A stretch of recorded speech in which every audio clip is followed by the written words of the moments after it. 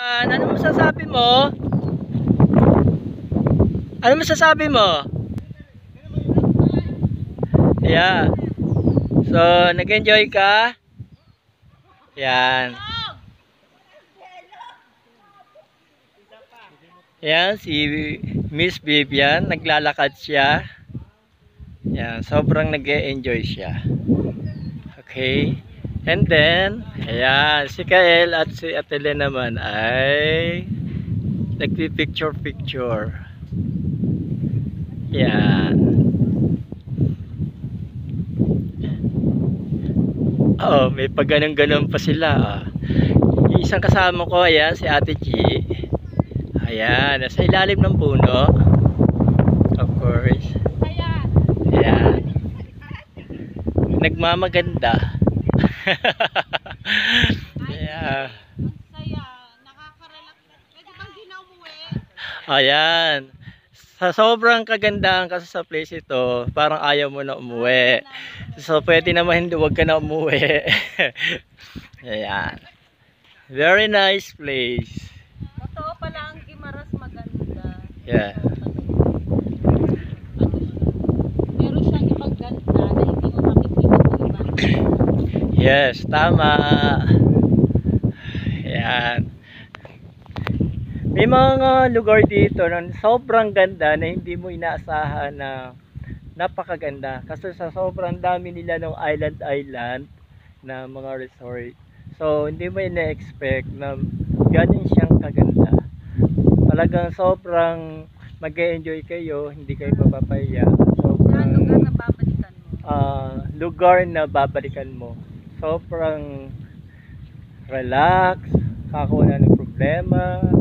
Alam mo yon yung kailangan mo i-explore yung mga ano talaga. dito. Gusto parang gusto mo na ma-relax doon. Eh, pa-cancel ang flight. Bukas na tayo.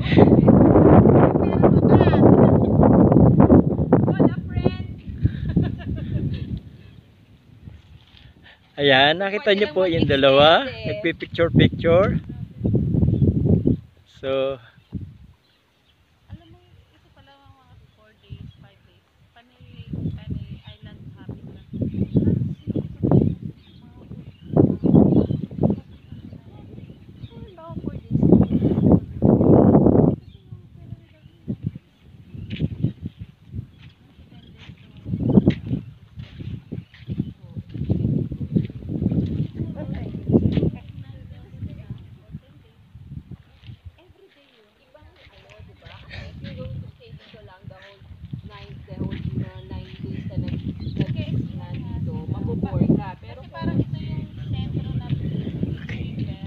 ano yung pinakamagandang ano dito?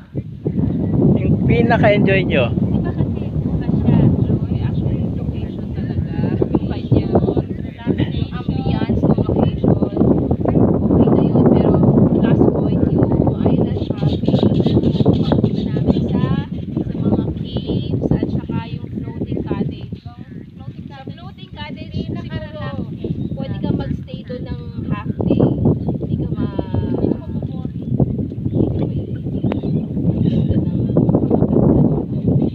Yan. Ang gusto po nila mangyari, wag na umuwi muna ngayon, bukas sa tao. Call a friend.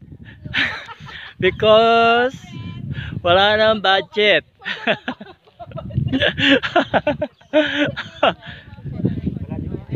so kayong dalawa, ano masasabi ninyo? Ah, ano masasabi ninyo? Ano masasabi ninyo? Ano masasabi nyo? Masaya. Masaya. Ah, Masaya Maganda. lang ang peg. Yeah. Yan lang. Isang araw. Kulang na kulang. Oh, Dapat, kulang isang araw. dapat two nights and. One hour na lang kami eh. So, halikin na. Okay. Yan. O, paparik na po kami. Let's go.